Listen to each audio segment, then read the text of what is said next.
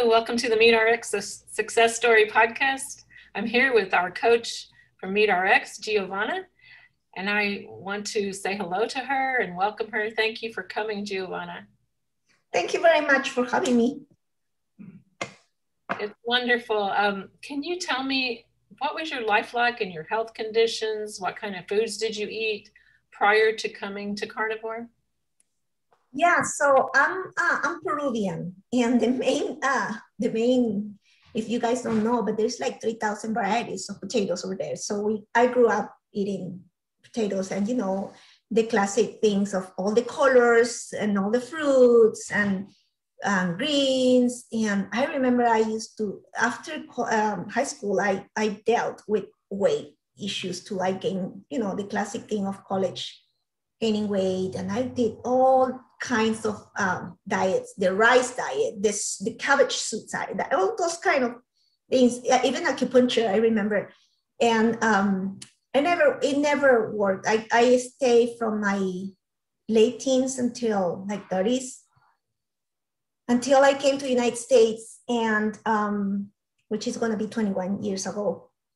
And back then I was scared to go back to Peru even bigger and um, so you know the classic um, uh, calories in calories out i was exercising like crazy.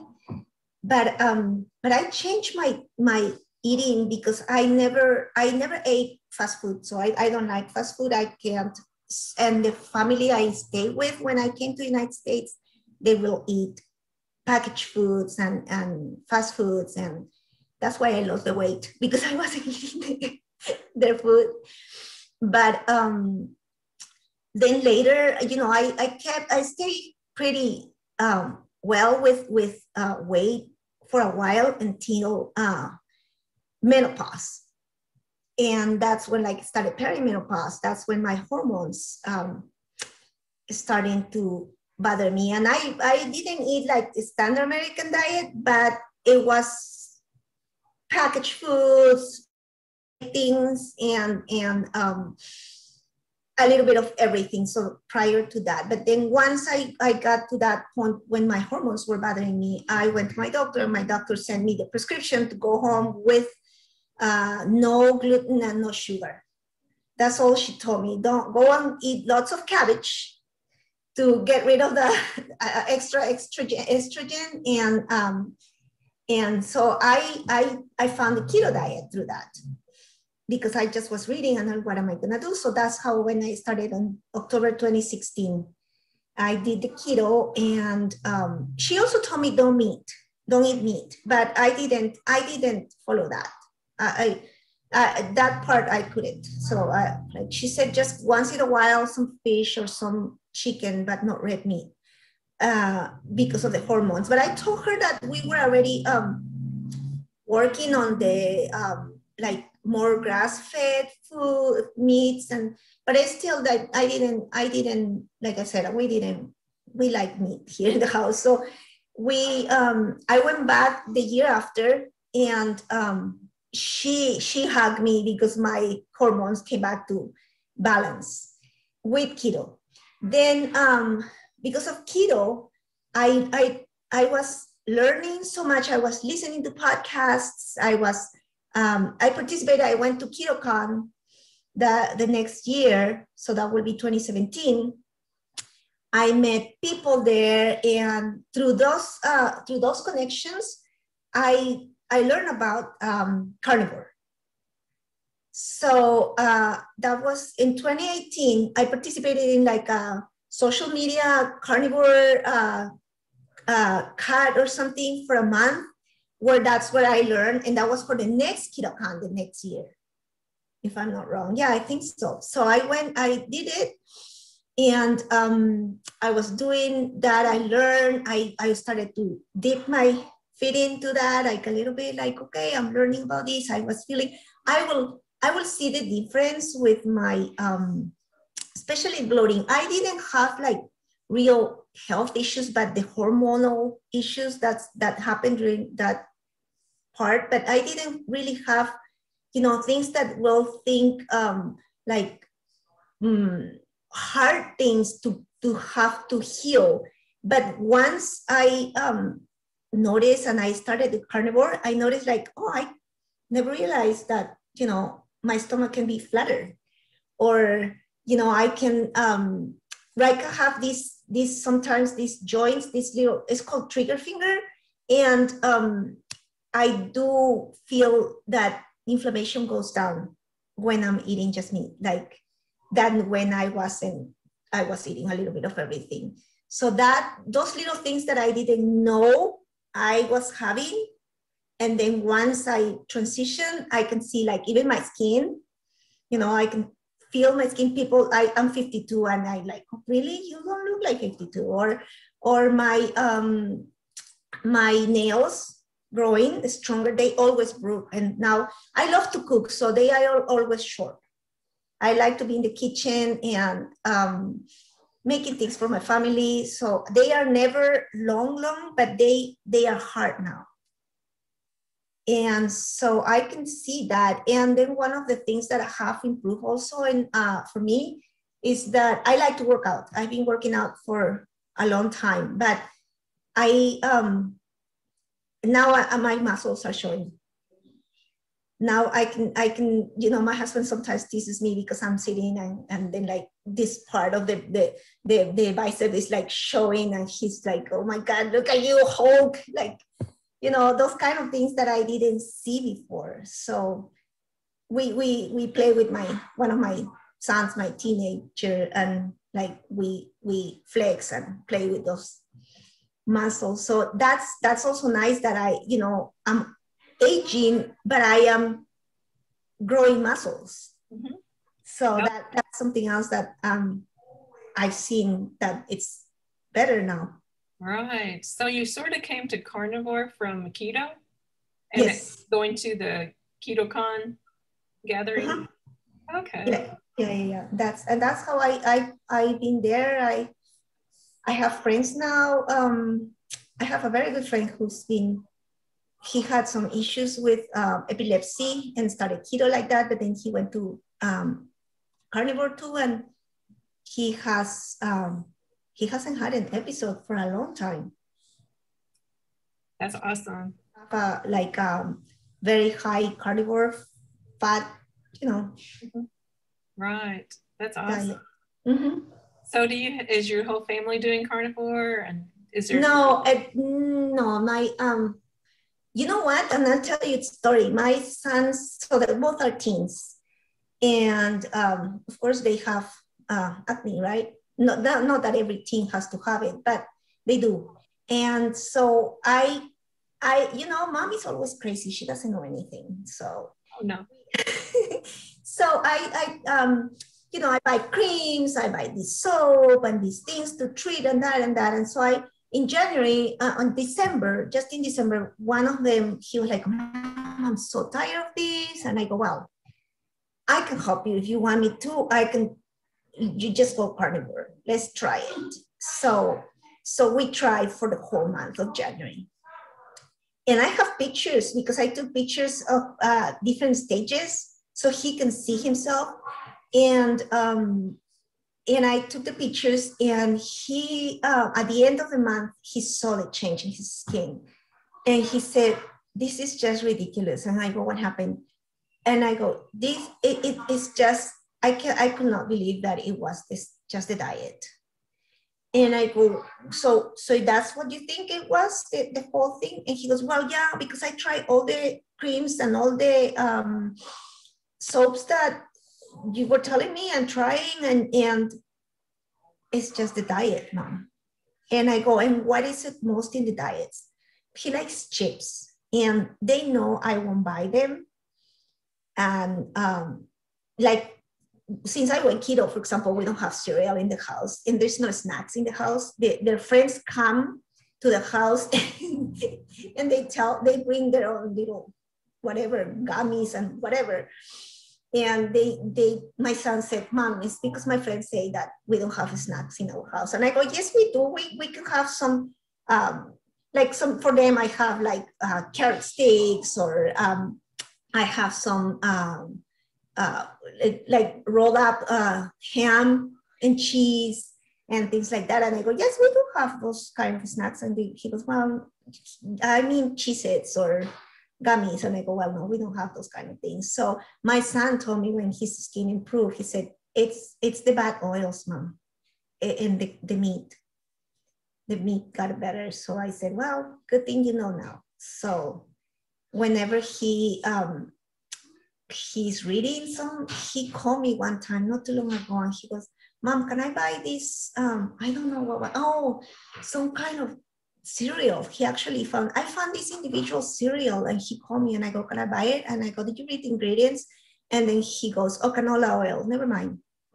So he didn't even worry about the um, sugar, which I go, he goes, Never mind. So I just, and he just didn't get it. But I'm, I'm glad it was that, but it's much better. I told them when they move out of the house, I'm just gonna give them an air fryer so they can put their steak there and cook it. They don't need to have ramen.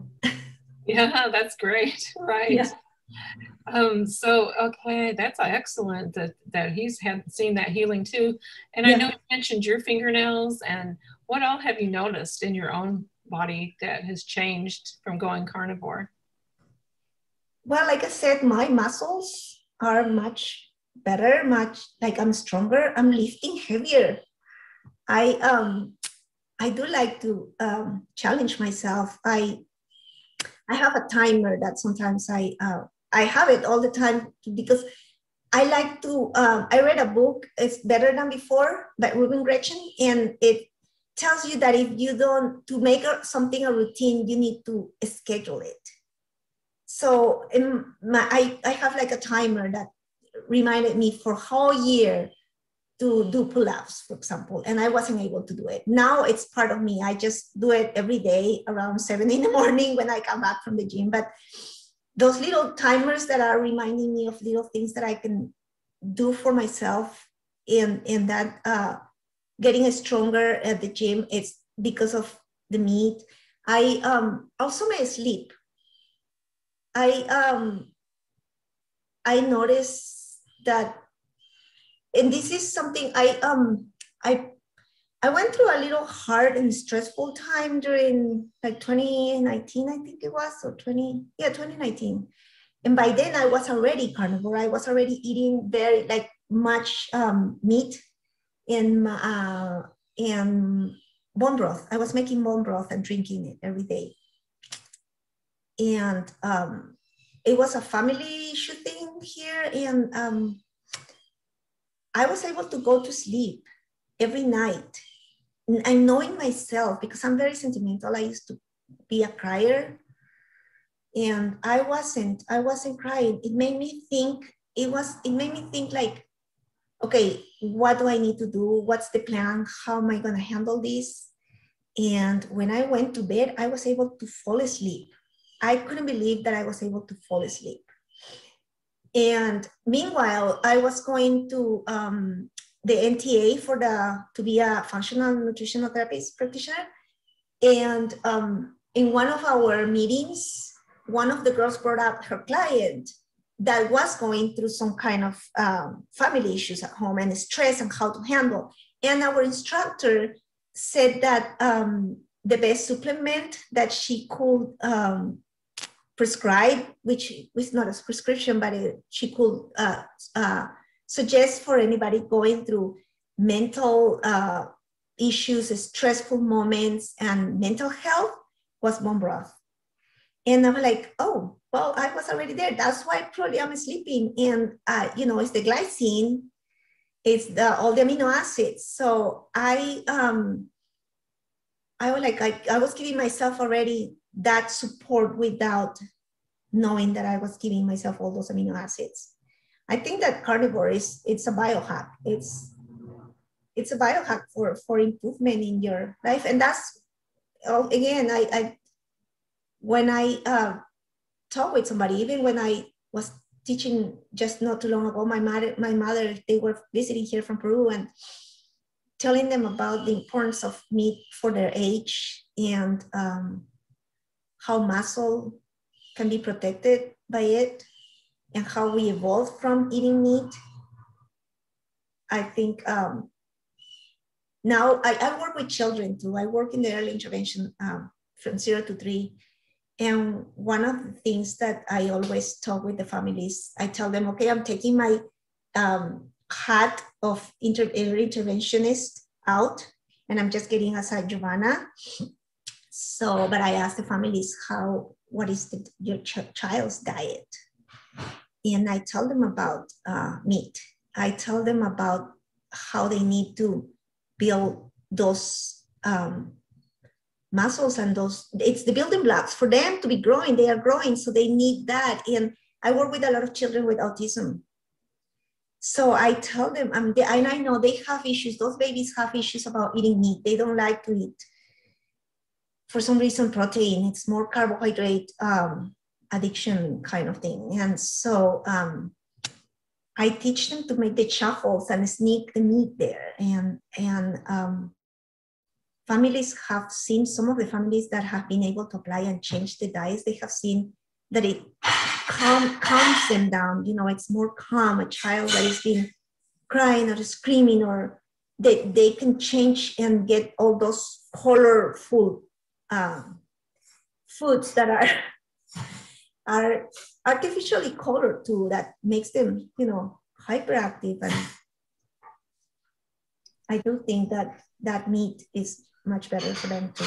Yes that's incredible that you can teach all them because that's really something that really could help that type of child with autism. I'm sure that would help them so much. I i, I think the, the families that and i tell them always do not believe me. Don't don't believe me. Do your own research. And I, I send them, you know, uh, links and information, but I tell them go go and check this out and, and see what um, and one example that I like to tell um, people is that you know how we've been told oh, my nails are breaking or my hair is falling or I'm getting some acne or breakout like you know how it's showing outside what you are you've been eating well it's the same for what you are eating, it's going to be the same in your brain and in every single cell in your body.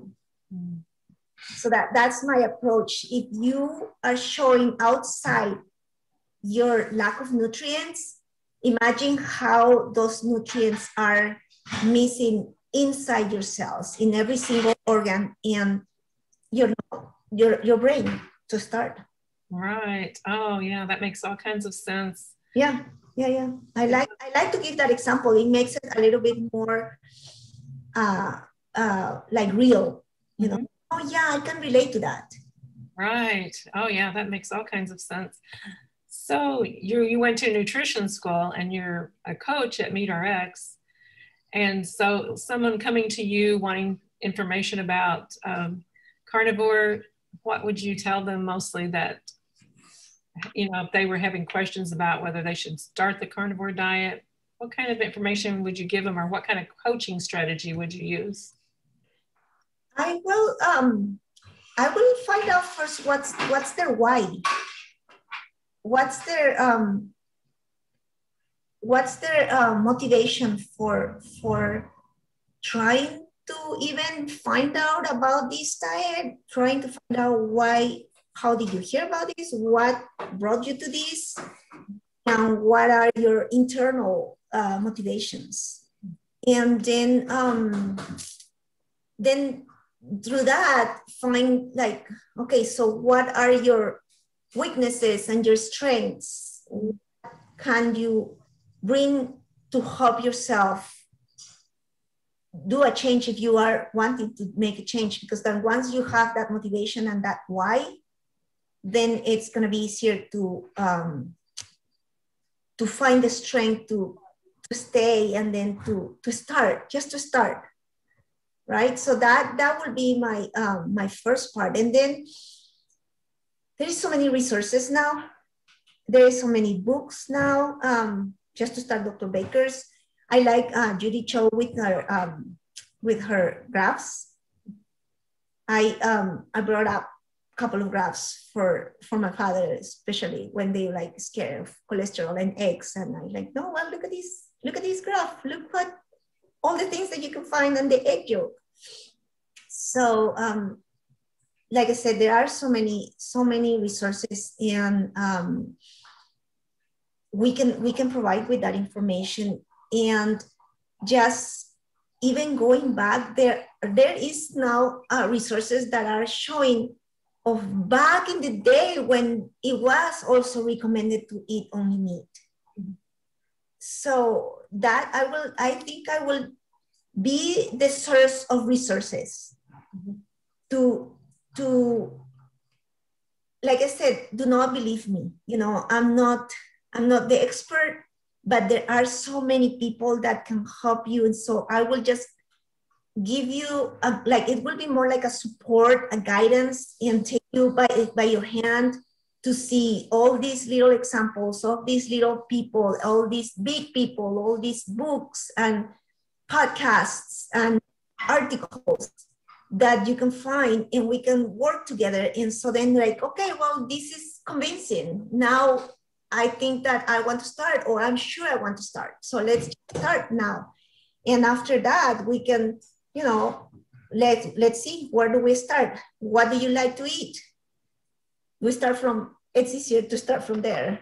Right. You like to eat because it's like, oh yeah, I don't like fish. Well, you don't have to have fish. I don't like liver. Well, you don't have to have liver if you don't want to. But what do you like? Oh, I just like ground beef. That's all. Okay, well, let's start from that you know it, it start it start from from from what that person prefers will be the best way instead of doing it the way I will uh, I I started. You know, my ways are different. Everybody's different, and not everybody has the same likes. That way, you can keep uh, more um, commitment. Right? right. That's excellent. So, um, you said you helped your mom and dad. Can you go into that a little yeah. bit more? Yeah. So, um, like I said, I'm from Peru, and my uh, my poor parents have been stuck in their house. Peru has very bad restrictions right now with COVID, and it was worse last year.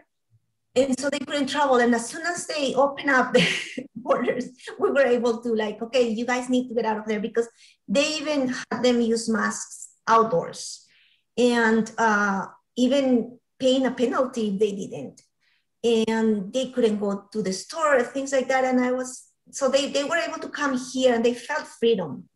But my mom is, um, so my both, well, my dad had cancer, prostate cancer. It's been like, um, it's been like five years, four years maybe that since he has been cleared. But my mom was diagnosed with um, diabetes uh, maybe around 10 years ago or so. She's 74 now. No, 78. And um, so she's been diagnosed with, and she was taking metformin. Now, her doctor told her, I think, to take like two milligrams, but she already was taking one milligram. She wasn't listening to her doctor in that sense. She was scared of taking so much.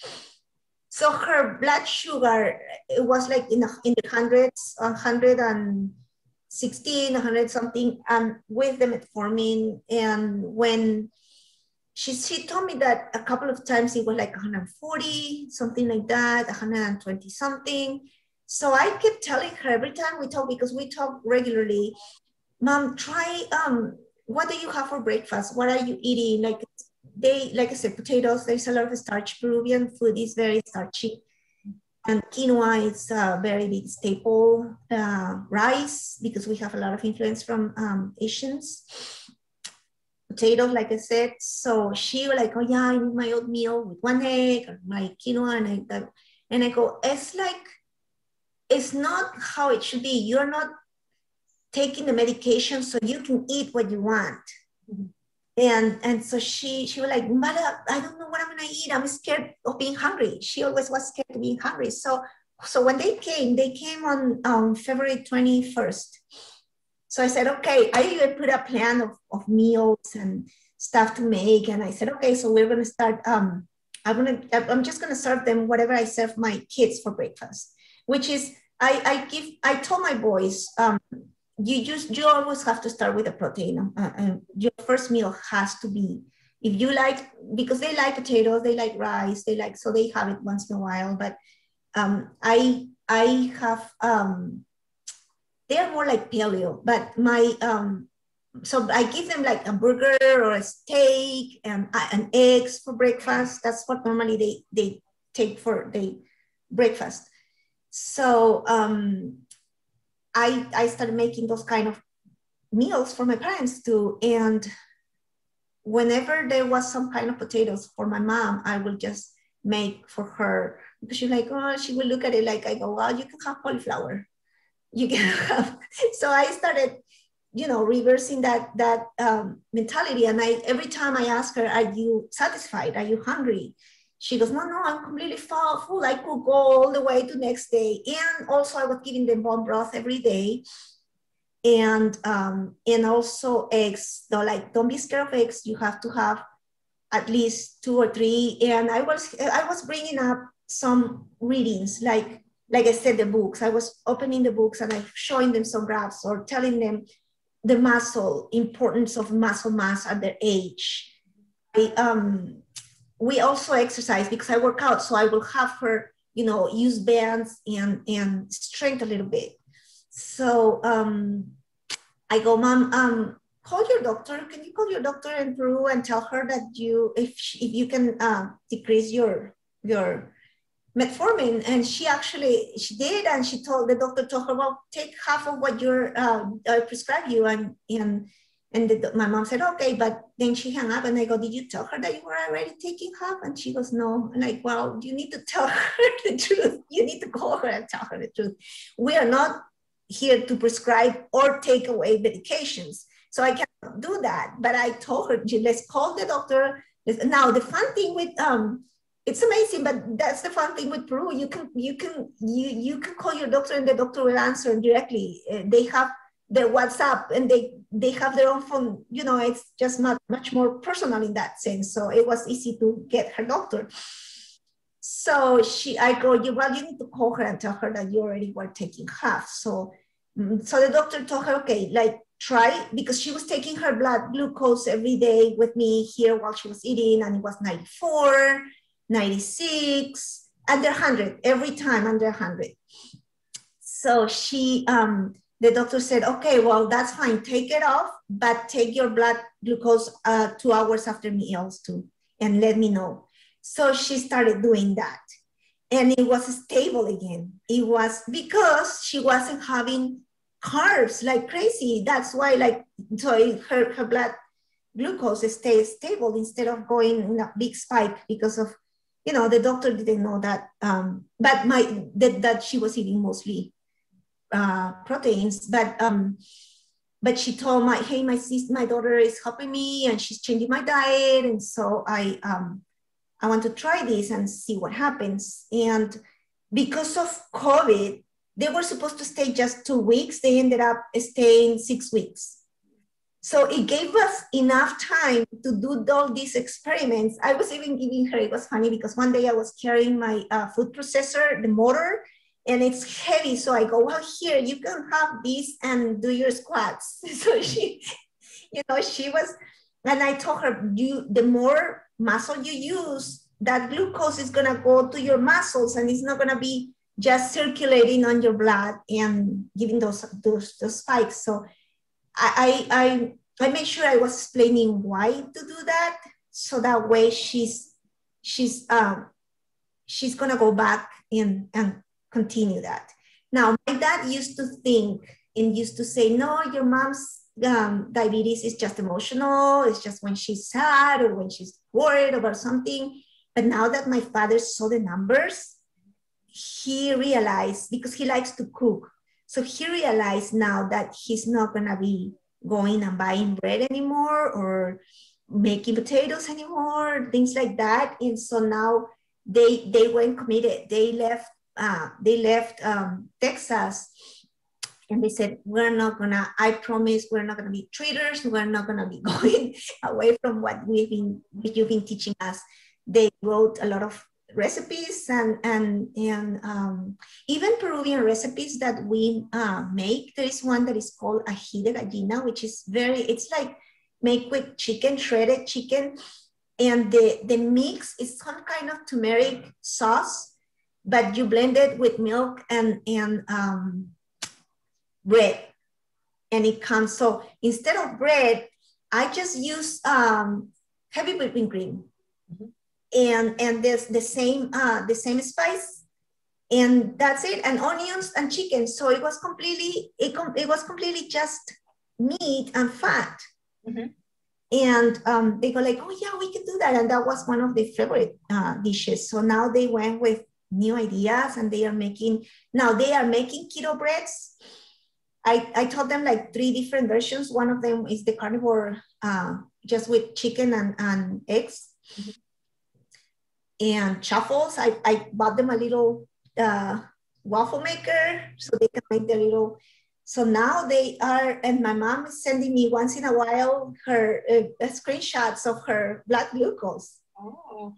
Yeah, so she's she's sending me some, and like it's a hundred or ninety nine. She has to go and do some testings now, and but she's not taking the metformin anymore. Wow, that's amazing. That's wonderful. I know it makes you feel good too to have helped them so much. Yeah, I'm, I'm happy. I'm, I'm very happy that they they they realize it's possible. Mm-hmm. I, I, it makes me, and I told them also about the um, the mental support that you know the the meat can give you. The that it's it's it's like peace. It is. It is. It's very very much makes you peaceful. Yeah.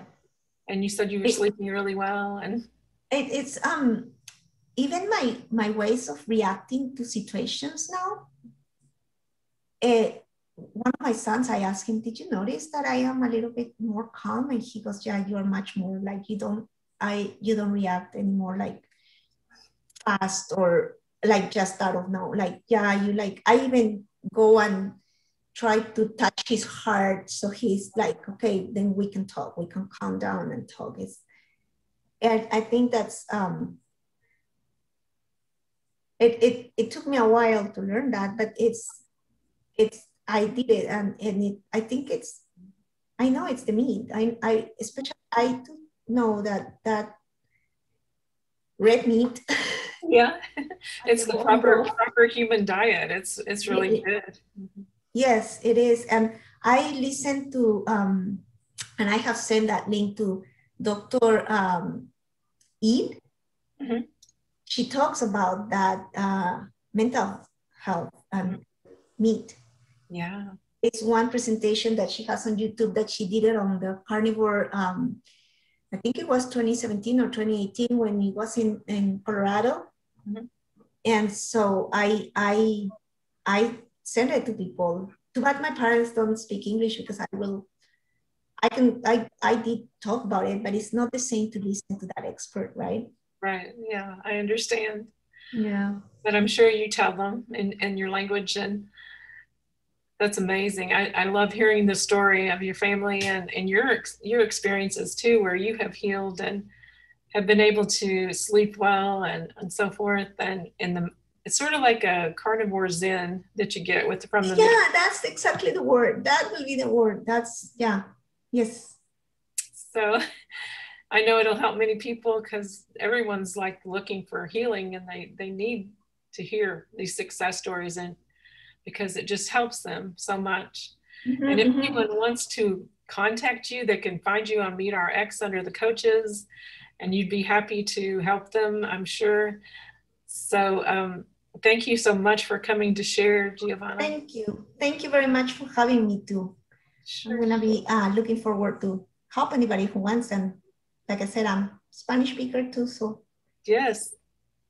I remember that I, I got um I actually got interested on doing the coach uh, uh, because of Dr. Baker. He said, you know, he was posting that he wanted to some bilingual people and that he was learning Spanish too. So oh, okay. that's why I got like, oh yeah, I can do that. Yeah, that's awesome. Thank you so much, Giovanna. Have a great Thank evening. You. You too. Bye. Bye bye. Thank you.